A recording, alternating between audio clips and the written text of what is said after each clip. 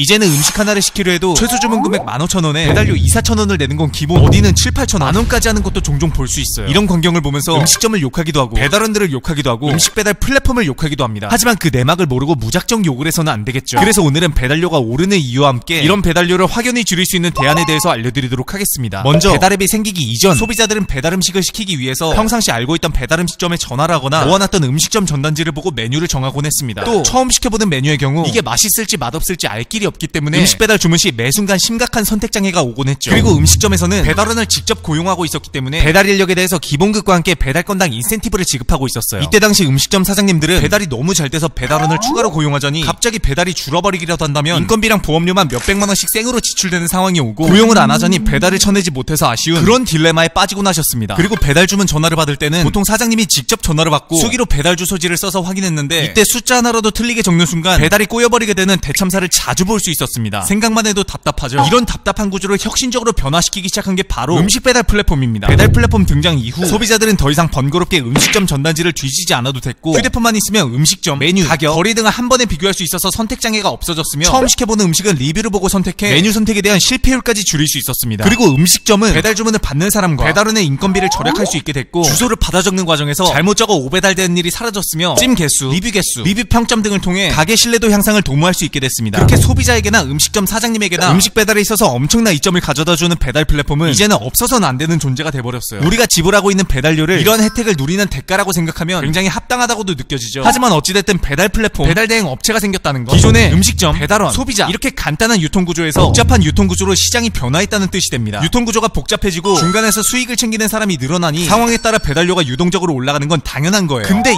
배달료 정말 정도 이상으로 비싸지고 있죠. 자 여기서 웃긴 현상이 나타납니다. 배달료가 높아져서 우리는 전보다 비싸게 사 먹고 있는데 음식점도 수익이 줄었다고 하고 배달원도 이전보다 힘들다고 하고 배달 플랫폼도 이익이 떨어지고 있다는 거예요. 도대체 이런 현상이 왜 일어나는 걸까요? 결론부터 말씀드리면 배달 시장의 유통 구조는 현재 심각한 불균형 상태를 나타내고 있기 때문입니다. 이 말이 뭐냐? 배달 수요가 증가했다고는 하지만 이 수요를 커버해줄 충분한 음식점들이 배달 사업을 하고 있었고 배달앱 또한 활발한 영업을 통해 충분한 음식점들을 입점시켜놨습니다. 여기까지는 균형이 잘 맞아요. 그런데 음식을 고객에게 배달해주는 라이더들이 부족했던 거죠. 이게 오늘 다룰 배달료 상승 원인의 가장 핵심이 되는 부분입니다. 일단 이 부분에 대해서 배 달원의 입장부터 보겠습니다. 현재 라이더분들의 80%는 낮에는 직장을 다니며 생활비를 보충하기 위해 퇴근 후 배달업을 겸하시는 분들입니다. 근데 정부가 2020년 7월부터 라이더의 산재보험 가입을 의무화하고 2022년 1월부터는 고용보험 가입까지 의무화시키면서 80만원 이상의 소득이 발생하는 라이더는 산재로 15,000원, 고용보험으로 매출의 0.7%를 납부하게 됐습니다. 그런데 개인 사업자로 분류되는 라이더는 직원이 아니에요. 고용보험의 혜택은 고용되는 직원에게 해당되는 사안이기 때문에 라이더는 고용보험 혜택을 받을 게 없습니다. 산재보험의 경우도 혜택을 받기 위해서는 한 군데에 속해서 일정 시간 이상을 채워야 되지 만 라이더는 한 군데가 아니라 여러 업체를 통해 일하기 때문에 산재보험 혜택도 받기가 힘들어요. 이 말은 즉 산재 고용보험이 의무화돼서 전부 다 수익은 떨어졌지만 해당 보험 혜택을 받을 수 있는 라이더는 거의 없다는 겁니다. 그로 인해 라이더를 그만두는 사람들이 늘었어요. 그리고 고용보험에 가입되면서 주중에 회사를 다니는 라이더들에게는 이중계약에 문제가 생기기 시작했습니다. 법적으로는 회사를 다니면서 배달알바 투잡을 하는 게 문제는 없지만 취업 규칙에 의해서 금지될 수 있긴 하고 배달로 인해 피곤해서 근태가 불량해지면 징계 대상이 될 수 있기 때문입니다. 그래서 전체 라이더의 80%를 차지하던 겸업 라이더분들도 많이들 배달업을 그만두게 됐습니다. 그리고 오토바이 보험은 가정용, 비유상 운송보험, 유상 운송보험 이 세 가지로 나뉘는데 지금과 같이 건 by 건으로 하시는 분들은 여러 업체에 일을 해야 되기 때문에 유상 운송보험에 들어야 돼요. 근데 이 보험 상품의 보험료가 20대 라이더들은 연 천만 원 이상도 나오고 경력이 오래되더라도 기본 1년에 5, 600만 원이 나가버립니다. 배달 오토바이의 사고율이 너무 크기 때문에 보험사에서는 보험료를 극단적으로 높여 가입자를 아예 받지 않으려고 하거나 보험에 들더라도 손해보지 않겠다는 의지가 반영됐다고 보시면 되죠. 그렇다 보니 라이더들은 보험료가 아까워서 안 들면 리스크가 너무 크고 들면 몇 달 월급이 생 보험료로 나가게 되는 상황에 처하게 됩니다. 거기에 유류비, 오일 교환, 타이어 교체, 소모품 교체, 세제 공제, 오토바이 고장, 정비 등 나가는 고정비만 해도 어마어마하죠. 이런 실정에 라이더 쪽은 새로운 유입이 없으며 그마저도 하던 사람들까지 그만두고 있는 상황인 겁니다. 음식 배달에 대한 수요는 미친 듯이 늘어나는데 라이더가 부족하다? 자연스럽게 라이더의 몸값이 오르는 현상이 나타나게 됩니다. 이게 우리들이 내는 배달료에 고스란히 포함되게 되죠. 자 그럼 배달 플랫폼의 입장은 어떨까요? 배달의 민족 재무제표를 보면 매출액은 매년 두 배씩 미친 듯이 성장하고 있는 걸 볼 수 있습니다. 하지만 어째서인지 영업이익은 마이너스를 향해 가고 있어요. 도대체 왜일까요? 기존 배달 산업은 배달원이 한 번 출발할 때 동선에 맞춰 여러 개의 음식을 싣고 출발해서 각 배달지를 들려 배달하고 돌아오는 묶음 배달하고 있었습니다. 이때 음식을 처음으로 받는 가구는 좋겠지만 마지막으로 받는 가구는 조리된 지 오래된 음식을 먹어야 되는 피해를 보게 되고 이게 음식점에게는 낮은 별점으로 리뷰를 받게 되는 영향까지 끼치게 되면서 음식점도 마찬가지로 피해를 보고 있었어요. 쿠팡에서는 이런 문제점을 타파함과 동시에 시장 점유율을 높이기 위해 라이더가 한 번 배달 나갈 때 한 배달지만 들리는 단건 배달을 시작했고 여기에 배달의 민족도 시장 점유율을 뺏기지 않기 위해 배민원이라는 서비스를 내서 단건 배달을 똑같이 따라하기 시작했습니다. 단건 배달 의미는 좋은 정책이긴 해요. 근데 아까도 말씀드렸다시피 배달 시장에는 라이더의 숫자가 부족하다고 했죠. 여기에 쿠팡과 배민의 단건 배달 경쟁이 시작되면서 라이더가 처리할 수 있는 배달량이 더 줄기 시작했습니다. 이제는 없는 라이더에 일손까지 부족해지는 상황이 온 거죠. 그리고 라이더들은 여러 건을 한 번에 처리하는 묶음 배달이 수익성으로 훨씬 좋기 때문에 단건 배달하면 손해입니다. 그래서 쿠팡과 배민은 라이더들을 경쟁사에 뺏기지 않기 위해서 라이더들의 배달비를 높이거나 민간보험료 일부를 지원하는 등 금전적인 메리트를 많이 심어주기 시작했습니다. 이런 식의 시장 상황을 고려하지 않은 단건 배달 출혈 경쟁으로 라이더의 몸값은 미친 듯이 올라갔어요. 배민이 2021년 지출한 영업비용을 보면 외주 용역비가 차지하는 비중이 38%입니다. 이 외주 용역비가 배민원 라이더들에게 지출된 돈이에요. 엄청나죠? 그렇게 배민의 영업 손실은 2021년 757억 원 큰 폭으로 증가했습니다. 그렇게 배달 플랫폼도 힘들어졌지만 이런 현상은 당연히 소비자들의 배달료 향상에 영향을 미치게 되죠. 그렇다면 음식점 사장님은 어떨까요? 코로나의 여파로 홀을 없앤 공동주방을 사용하면서 월세를 줄이기도 했고 배달 전화를 받는 인력과 배달원의 인건비까지 줄일 수 있게 됐지만 목 좋은 자리를 들어가려면 높은 임대료와 권리금을 줘야 되듯이 배달 플랫폼 내에서도 꽤나 많은 비용이 지출되고 있습니다. 울트라콜이라고 해서 하나당 8만 8천 원의 깃발을 어떤 위치에 꼽아놓으면 그 깃발 위치를 중심으로 거리가 가까운 소비자들에게 상위 노출되는 광고 시스템이 있습니다. 현금이 많은 가게의 경우 이 깃발을 여기저기 여러 개 꼽아놓습니다. 그럼 더 많은 소비자들에게 상단 노출될 수 있어서 매출이 증가하겠죠. 근데 반대로 깃발을 하나도 꼽지 않은 음식점의 경우 무작위로 노출되기 때문에 소비자들의 화면에 노출이 아예 안 될 수도 있습니다. 음식점주 입장에서는 울트라콜 가입을 외면할 수가 없는 거죠. 이에 따라 음식점 사장님들은 광고 비용에 대한 부담을 배달료나 음식값을 올려서 소비자들에게 전가할 수 있긴 하지만 그게 쉽지만은 않습니다. 소비자들은 배달 플랫폼을 통해 굳이 이 음식점이 아니더라도 엄청나게 다양한 선택지를 가지고 있기 때문입니다. 그러니까 가격을 올려야 될지 말아야 될지 음식점 사장님들의 골머리에는 계속해서 아파가고 있죠. 근데 코로나 여파로 배달 음식 시장이 커지면서 음식점 또한 늘어나 경쟁은 치열해졌고 배달비 상승에 대한 부담은 소비자가 아닌 음식점에게도 부과되기 때문에 결론적으로 음식점은 배달료나 음식값을 올릴 수밖에 없는 상황에 처하게 됩니다. 정리해보면 매년 폭풍 성장하고 있는 음식 배달 시장 그를 따라가지 못하는 라이더 수 증가하고 있는 라이더의 유류비와 보험료 시장 상황을 고려하지 않는 배달 플랫폼들의 출혈 경쟁 그리고 음식점 개수 증가에 따른 음식점 수익 저하 결국 이러한 모든 요소의 부담은 최종 소비자에게 전가될 확률이 가장 높습니다. 배달 시장에서 배달 플랫폼 배달원 음식점은 수익과 지출이 동반되지만 최종 소비자는 온전히 지출뿐이니까요. 그래서 지금 우리가 체감하는 배달료와 음식값이 이렇게나 비싸다고 느끼게 된 겁니다. 이번에 코로나 거리두기가 해제되기도 했고 배달보다 외식을 많이 하는 문화가 다시 돌아온다면 배달 수요는 줄고 라이더의 공급 균형이 맞춰지기 시작하면서 배달료는 어느 정도 줄어들 거라 내다보긴 합니다. 아 그리고 로봇 드론 배달도 개발하고 있죠. 하지만 로봇 배달이 상용화되기까지는 시간이 굉장히 오래 걸릴 것이고 로봇 생산에 대한 일자리는 늘지언정 현재 배달원들의 일자리 감소도 큰 문제로 다가올 겁니다. 그래서 이런 배달 시장 유통 구조의 심각한 불균형을 해결하기 위해서 서비스를 준비하고 있는 어플을 소개해드릴까 합니다. 이번에 광고를 받게 된 끼리 배달이에요. 끼리 배달은 근처에 살고 있는 이웃과 음식을 시킬 시간 그리고 메뉴를 정한 뒤에 공동구매라는 형식의 배달 플랫폼입니다. 끼리 배달 어플에서 배달시킬 시간, 음식점, 같이 시킬 사람들의 반경을 선택하면 하나의 그룹을 만들어서 참가자를 모집할 수 있어요. 그리고 이 그룹 모집이 완료되면 음식점으로 주문이 넘어가게 되고 시간에 맞춰 공동 배달이 시작되는 거죠. 이 경우 최소 주문 금액을 공동 지불하는 총액으로 계산하기 때문에 커피 한 잔만 먹고 싶은데 굳이 다른 메뉴를 붙여서 15,000원 이상 주문할 필요가 없어집니다. 1인 가구가 늘어나는 지금 최소 주문 금액의 부담을 줄일 수 있는 건 꽤나 큰 장점으로 보이죠. 3명에게 각각 음식 배달 주문이 들어왔다고 했을 때 기존의 단건 배달, 묶음 배달과 끼리 배달의 차이점을 보면 기존의 단건 배달 라이더의 동선은 음식점에 들렸다가 소비자에게 배달, 또 다른 음식점에 들리고 소비자에게 배달, 또 다른 음식점에 들리고 소비자에게 배달하는 식이었고 묶음 배달 라이더의 동선은 3개의 음식점을 각각 연달아 들리고 거리가 먼 3명의 소비자에게 각각 배달했었죠. 그에 비해 끼리 배달은 라이더가 한 음식점에서 여러 개의 음식을 받아 가까운 거리에 있는 소비자들에게 전달하게 되는데 이 말은 즉 음식이 식기 전 빠르게 배달되는 단건 배달과 라이더의 인력을 최소화시킬 수 있는 묶음 배달 두 가지 장점을 모두 취할 수 있는 시스템인 거죠. 이렇게 되면 라이더의 수요 불균형 문제가 해결될 수 있기 때문에 전체 배달료가 내려가면서 소비자들은 저렴해진 배달료를 나눠내기까지 할 수 있고 음식점 또한 배달비에 대한 부담을 줄일 수 있으며 라이더는 주행거리 대비 수익률을 증가시킬 수 있는 윈윈윈 구조가 만들어질 수 있을 것 같습니다. 물론 이런 시스템이 완벽할 수는 없을 거예요. 같은 시간 나와 비슷한 지역 나와 같은 메뉴를 원하는 사람이 있어야 되기 때문에 메뉴의 선택지가 줄어들 수 있기 때문입니다. 하지만 이 문화가 정착이 되고 강한 커뮤니티가 구축된다면 현재 배달 산업에서 나타나고 있는 수요와 공급의 불균형 문제를 꽤나 효율적으로 해결할 수 있지 않을까 싶습니다. 끼리 배달은 현재 사전 예약을 받고 있는 단계고 사전 예약 만 명이 넘으면 서비스를 시작한다고 하니까 이런 식의 다음 세대 음식 배달 플랫폼을 긍정적으로 생각하신다면 사전 예약을 신청해 보시는 것도 좋을 것 같습니다. 그래서 오늘의 결론 소비자도 배달원도 음식점도 플랫폼도 모두 파이팅 하세요. 쉽고 빠른 정보를 원한다면 호갱구조대